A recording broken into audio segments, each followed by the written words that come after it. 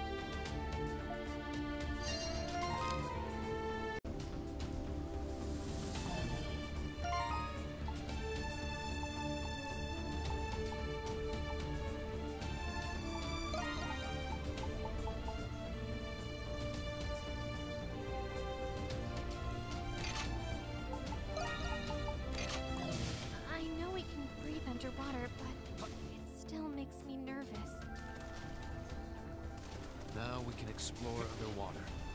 Let's go, Metal.